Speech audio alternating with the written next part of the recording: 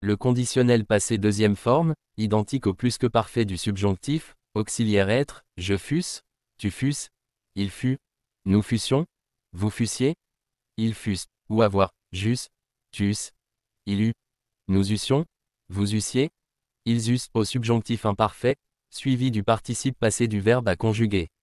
Exemple, j'eusse été, j'eusse eu, je fusse allé, tu eusses été grand, vous fussiez mort. Le conditionnel passé première forme est la forme la plus utilisée, la deuxième forme étant aujourd'hui réservée à un usage littéraire ou très soutenu.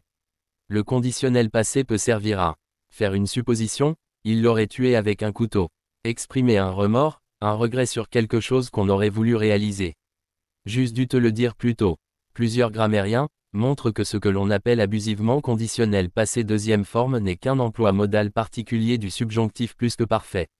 Dans ce dernier cas, le subjonctif plus que parfait est l'équivalent exact d'un conditionnel passé. La différence entre les deux formes réside dans la syntaxe, le subjonctif s'emploie dans une proposition subordonnée conjonctive, après la béquille, que, ou le subordonnant, si, dans une protase hypothétique, le conditionnel, lui, s'emploie, dans une proposition indépendante ou principale, comme l'apodose d'un système hypothétique.